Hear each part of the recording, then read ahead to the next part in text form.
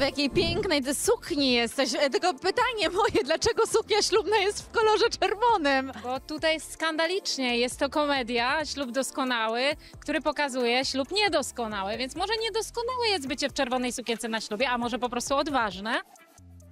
To jest właśnie, bo my, mam wrażenie po obejrzeniu tego filmu, że my żyjemy w takich schematach, takich szufladkach, takich stereotypach, zastanawiamy się, co kto pomyśli. Czy ten film jest właśnie takim lustrem, odbiciem naszego społeczeństwa? Bardzo dobrze to rozgryzłaś. E, Żyjemy schematami, robimy rzeczy, robimy klisze wszystkich rzeczy, które widzimy na filmach, które przeczytaliśmy w książkach, które przekazane zostały nas, nam w tradycjach. Ten film przełamuje każdą, każde tabu, każdy nasz schemat. Po prostu wszystko będzie dla Państwa zaskoczeniem w tym e, filmie Ślubie Doskonałym, które jak już wiemy, no doskonały nie jest. To jest tak, że rzeczywiście w dzisiejszym świecie rodzice nadal decydują o naszym szczęściu? Wydaje mi się, że w wielu przypadkach tak. Eee, bo ludzie po prostu nieświadomi pozwalają sobą manipulować.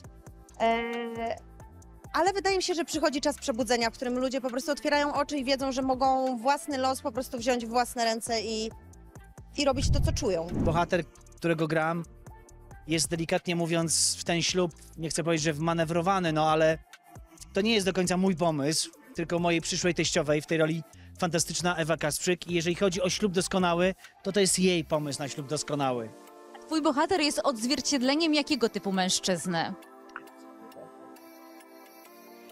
Biegać przez cały, no, większość filmów w samych gaciach, no to wiesz, gruba sprawa, no.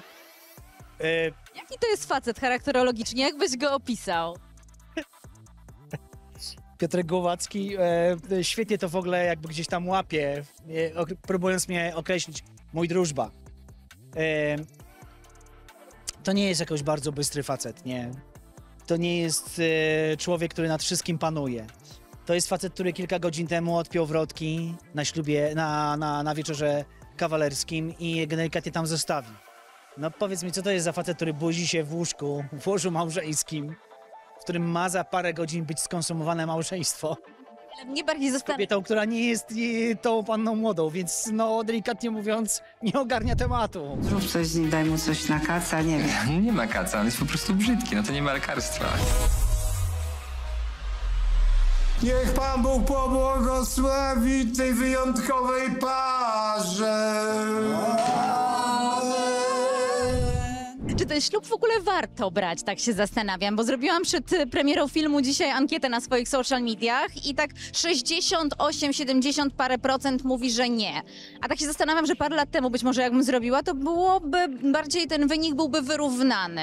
Czasy się zmieniają, to znaczy może, e, może jednak partnerskie związki gdzieś tutaj zwyciężają, może to jest chęć e, tego, że partnerzy nie chcą się dzielić, nie wiem, swoim majątkiem albo czymś, albo nie chcą, e, nie chcą może manifestować tego, pieczętować swojej miłości tym podpisem, ale to i tak w, w którymś momencie e, chyba jednak zwycięża, bo cała ta biurokracja i to wszystko gdzieś tam zmusza ludzi potem do, do jednak do, do brania tego ślubu. A poza tym ja też myślę, że tak na moje, na moje oko i na mój kobieta powinna raz w życiu wyjść za mąż i mieć ten ślub, mieć ten, te ceremonie. Naprawdę.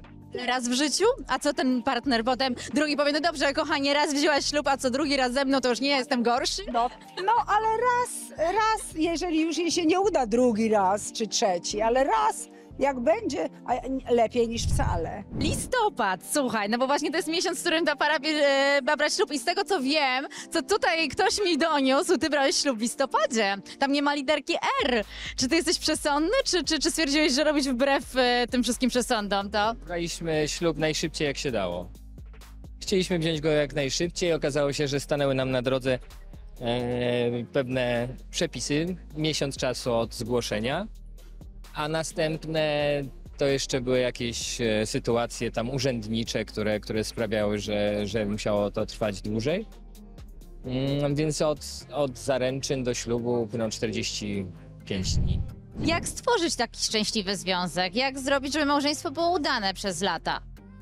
Em, Tak mam praktyczną radę, którą sam y, z żoną zrealizowaliśmy jeszcze przed ślubem, czyli przeczytaliśmy ustawę o małżeństwie. No, żeby nie mieć potem pretensji, większość ludzi czyta tę ustawę dopiero przy rozwodzie. E, i nagle się okazuje, że, że o, to myśmy się na to umówili, więc może warto przed ślubem przeczytać ustawę, żeby wiedzieć, y, jaką umowę się zawiera. Jak to zrobić, żeby utrzymać małżeństwo przez 28 lat? Wiesz co, trzeba dużo ze sobą rozmawiać, po prostu... Ja wiem, że takie trochę może górnolotne to, co powiem, bo, bo łatwo się mądrzyć, gdy u nas tak jest, ale my się po prostu tacy dobraliśmy. My mieliśmy to szczęście ogromne w życiu, że spotkaliśmy siebie e, i trafiliśmy dla siebie. Dorota ma taki ha- charakter, ja mam trochę inny i się w 100% uzupełniamy, a jeżeli mogę komuś coś podpowiedzieć, to na pewno rozmawiajcie dużo ze sobą, bo nie ma nic gorszego jak ciche dni, nie ma nic gorszego jak ciche dni i jak gdzieś różne problemy życiowe są przemilczane bądź zamiatane pod dywan, no to wtedy się nawarstwiają i, i z tego się robi zupełnie coś niepotrzebnego. A jeżeli o wszystkim możesz porozmawiać ze swoją drugą połówką, jak z kumplem, jak wygadać jak koleżance, jak koledze, no to wtedy przecież wszystko można załatwić. Wiesz, zwłaszcza, że ty mając tak popularny zespół, często nie bywałeś w domu, no i domyślam się, że e, też e, to mógłby być dla wielu par problem. No pewnie, że tak, ja sobie doskonale z tego zdaję sprawę. Ale jestem dorosłym facetem, to po pierwsze. Po drugie, Do- Dorota też mnie takiego poznała. To nie jest muzykowanie, że od, od kilku lat, tylko ja już ponad dobre 20 lat stoję na scenie.